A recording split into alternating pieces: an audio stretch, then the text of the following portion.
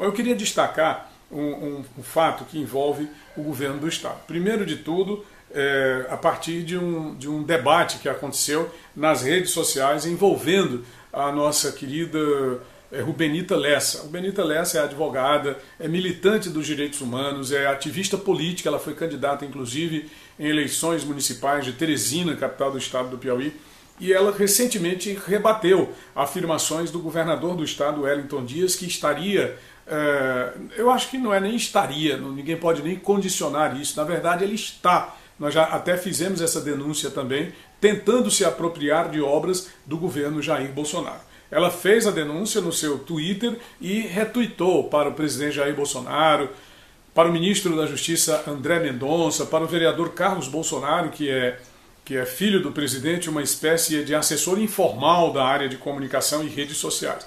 A Rubenita ficou indignada ao ler no Twitter uma mensagem postada pelo governador Wellington Dias no último dia 24 de dezembro, véspera do Natal, em que ele se vangloria de realizações no setor do sistema prisional. O governador diz o seguinte no seu Twitter: Novos veículos para o sistema penitenciário do Piauí. Entregamos hoje um ônibus e três viaturas para o transporte de internos no estado. O ônibus possui capacidade para 28 internos, dois compartimentos de cela, são equipados com sistema de CFTV, sinalização acústica e visual e adaptações no compartimento de escolta, permitindo melhor posicionamento dos policiais penais e melhor acompanhamento dos deslocamentos. As viaturas possuem capacidade para o transporte de oito internos e são equipadas com o sistema de SFTV e compartimentos de cela. Mais segurança para o trabalho dos nossos policiais penais. Foi essa a postagem do governador Wellington Dias. Wellington Dias, né, que tem lá no Twitter o endereço arroba wdiaspi. É, se você quiser deixar uma mensagem para ele acerca desse assunto, é muito interessante. E o acesso também à nossa matéria. Vou deixar o link aqui na descrição para que você acesse a matéria do, aqui do TR Notícia que fala sobre isso. Uh, e, claro, deixe o seu comentário, tanto aqui no vídeo quanto lá na matéria, tá bom? Fico muito agradecido. A mensagem que foi postada na antivéspera do Natal recebeu é, de pronto o, o combate da Rubenita Lessa, que comentou o seguinte: Senhor governador, o senhor só esqueceu de dizer que os veículos foram doados pelo governo federal por meio do DEPEN, o Departamento Penitenciário Nacional, órgão vinculado ao Ministério da Justiça e Segurança Pública, ou seja, do governo Bolsonaro ao governo do estado do Piauí. Parabéns ao presidente da República Bolsonaro e ao ministro André, André Mendonça ela, ela continua aqui fazendo a sua mensagem ao governador. Faça uma postagem, governador, falando da sua redução de investimento em segurança pública para o ano de 2021 e do aumento para a publicidade. Esse sim é um feito digno de ser registrado para que o povo saiba como o senhor faz política de segurança pública para a nossa gente. Então essa mensagem da Rubenita, ela encontra eco porque não é a primeira vez que o governador se apropria de obras do governo federal ou tenta é, silenciar tenta cancelar o presidente Jair Bolsonaro. Uh, recentemente, o governador fez a entrega de 43 viaturas para as polícias civil e militar. Os veículos custaram 10 milhões e 700 mil reais em recursos da Secretaria Nacional da Segurança Pública do Ministério da Justiça. E o governo do estado entrou com uma contrapartida de apenas 140 mil e 700 reais. E mesmo assim, o nome do presidente Bolsonaro foi negligenciado com a participação da bancada federal. Os deputados federais do governo do estado, ligados ao senhor governador, que participaram dessa pantomima, dessa entrega dessas viaturas, eles anunciaram para o povo do Piauí que aquilo ali foi conquistado com recursos de emendas parlamentares, o que é uma grande mentira.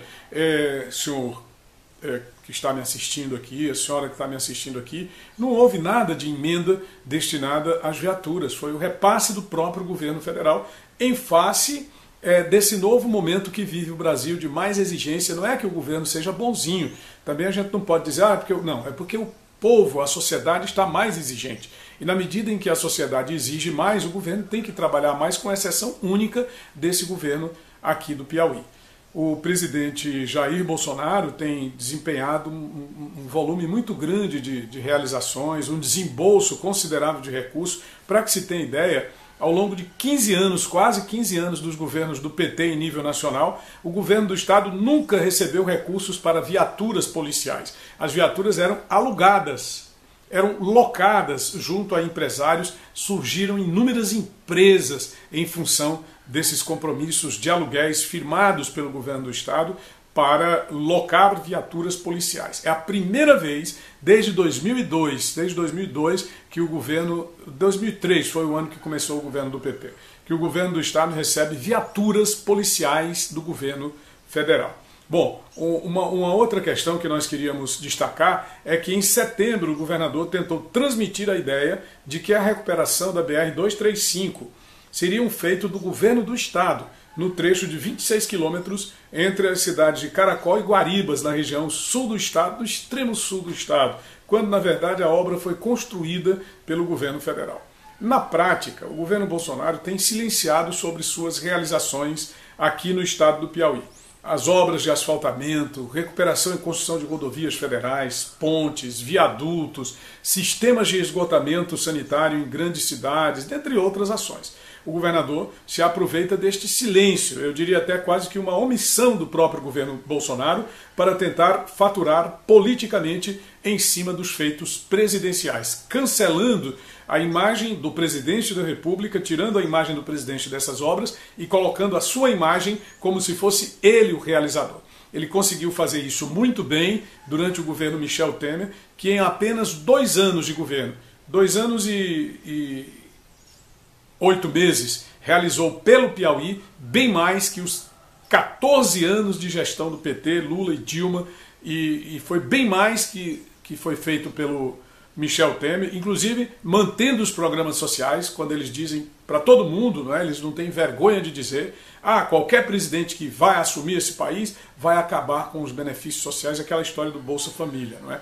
de usar o Bolsa Família para chantagear as pessoas. Quando na verdade é um programa, e um programa ele tem que ser mantido ad, não é ad eterno, ele tem que ser mantido de maneira permanente.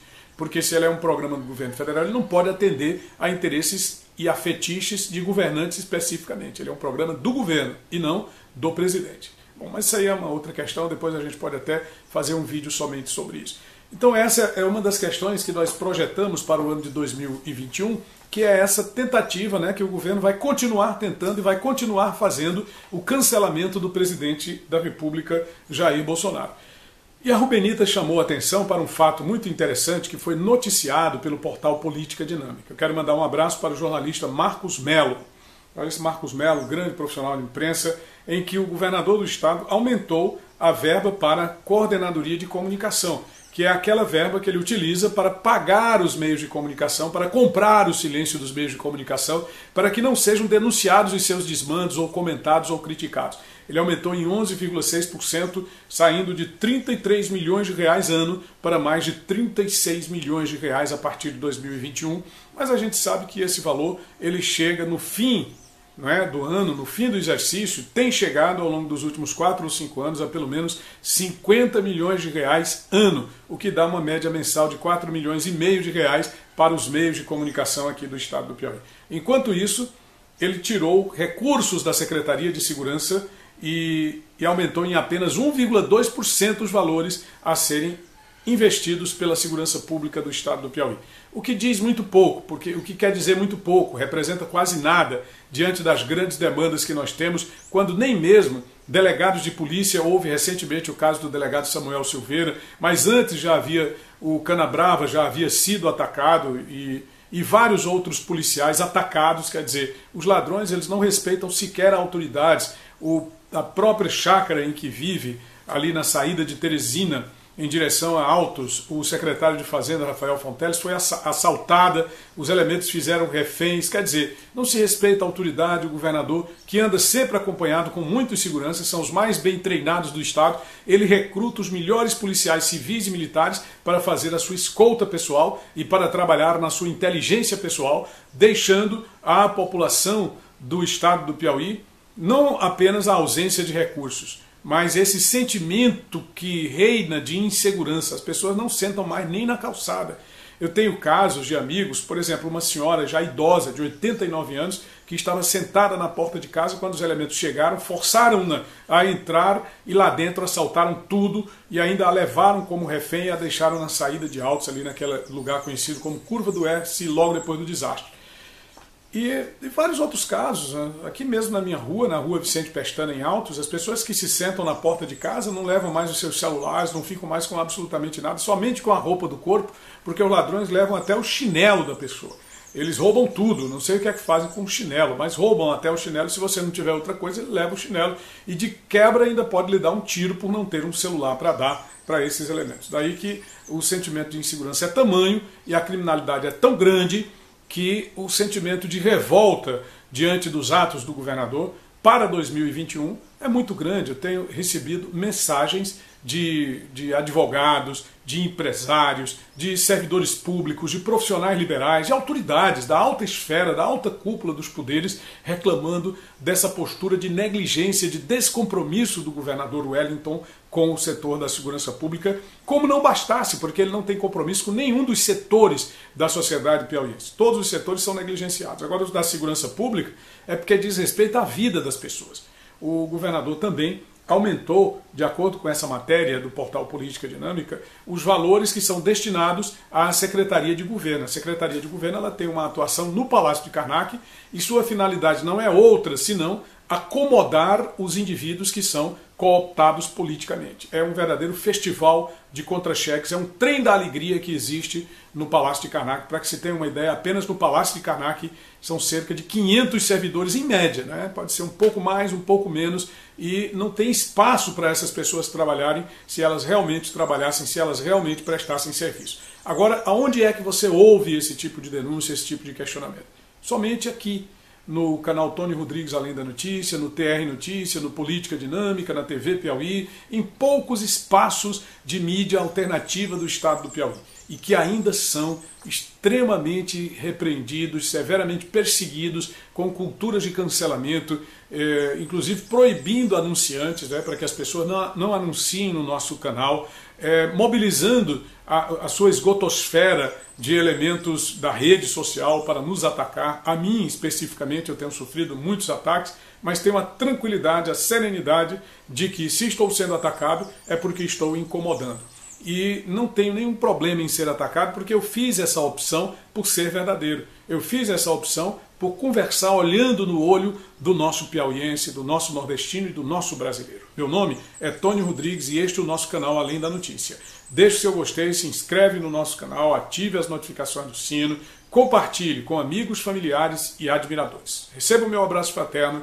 e o meu muito obrigado pelo carinho da sua audiência.